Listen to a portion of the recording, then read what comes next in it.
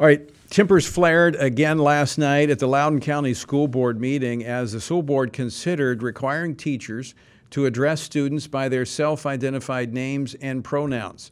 The school board abruptly ended the public comment period after only 51 of the 250 scheduled speakers had spoken. When angry parents refused to leave, the school board called the police on them and had a few of the parents arrested for trespassing. Now, the, the really at the core of this, two things. One, we have the transgender ideology that's being forced on students in the classroom, but we also have the critical race theory. Uh, programs, curriculum that is derived from the critical race theory, contains the critical race theory, has galvanized opposition, and it's moving across the nation at alarming rates. And uh, many in Congress here are taking note of this. Congresswoman Virginia Foxx highlighted the push for critical race theory in a Fox News op ed. Uh, she represents the 5th Congressional District of North Carolina. She's also the ranking member on the House Committee of Education. And I believe we have her with us. Congresswoman uh, Virginia Foxx, welcome to the program. It's wonderful to be with you again. I really appreciate your having me on with you. Uh, uh, you know what you've been describing, the, especially the school board meeting last night, was one of the most arrogant things I've ever seen among elected officials. Uh, I really applaud the the parents for coming forward and expressing their opinion. You know, I was on a school board for 12 years. I was a state senator. I'm now in Congress. I know who I work for. I work for my constituents. And the American people uh, do not accept this critical race theory.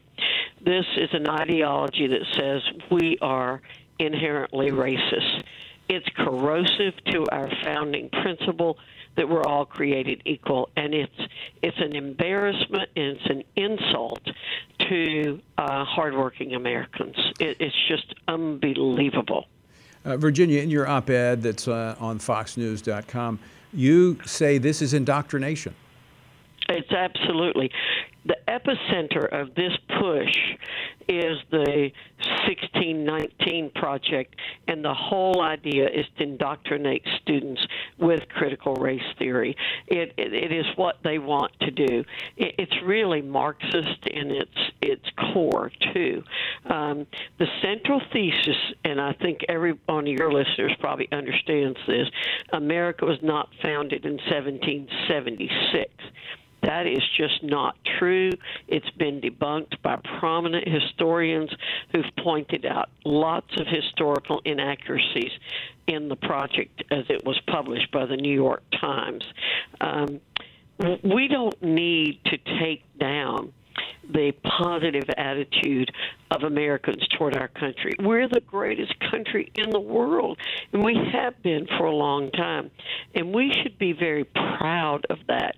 We should be instilling pride in the country's next generation of leaders in order to continue our leadership in the world, our leadership uh, in making this a better world through our example.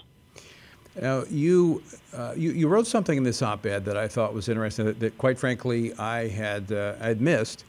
That the, the proposed priorities of the what the Biden administration is doing in terms of enticing schools, local schools, to interject this uh, uh, 1619 curriculum. Uh, is a pro it's a violation of the prohibition of the federal government's involvement in local school curriculum. The federal government's not Absolutely. supposed to do that. Now, I know that when we talk about violating the law, that's nothing to the left. They uh, they violate the law all the time, but this is a violation of the law, or at least in spirit. Absolutely. And and we do everything possible, Republicans do, to keep the federal government out of our curriculum. You know, we we got rid of Common Core, which people were opposed to, um, through our uh, getting by our uh, passing the Every Student Succeeds Act. We said no state can be required to have Common Core. We are probably going to have to do something on this, but with the Democrats in the majority in the House and the Senate, and with President Biden in office, it will be very difficult to do that. But we did get rid of Common Core, and now it looks like we're going to have to get rid of critical race theory too. It's just such an insult on the American to the American people and an assault on this country. It truly is.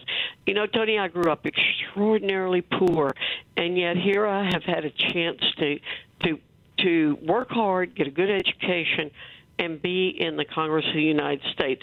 What we should be instilling in our youth is it doesn't matter what your background is. There's always room for you to succeed in America. Right. Doesn't matter whether you have a disability. Doesn't matter what your um, uh, whether you're male or female, doesn't matter whether you're black or white, Hispanic, Asian, doesn't matter. We are great because of the opportunity and because we do treat people equally. But we are conditioning people to think that they can't succeed by telling them that they're disadvantaged, uh, and Correct. therefore you don't you don't even try uh, because That's you're right. you're disadvantaged, and that is contrary to what has made America a, uh, a great nation in years past.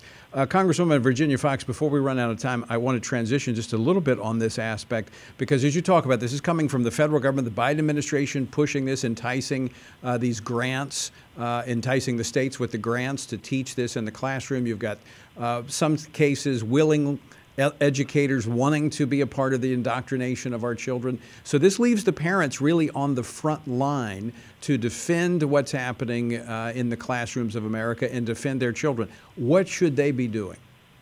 Well, they should be doing exactly what they are doing. And you know, we have uh, black parents, white parents, Asian parents all going out there and saying, this is wrong, wrong, wrong. Do not tie a, a, a mill a millstone around children's neck and tell them they can't succeed. And you know, Tony, the parents need to continue to speak out. Again, they're the bosses of the school board. They're the ones that hire them by voting for them.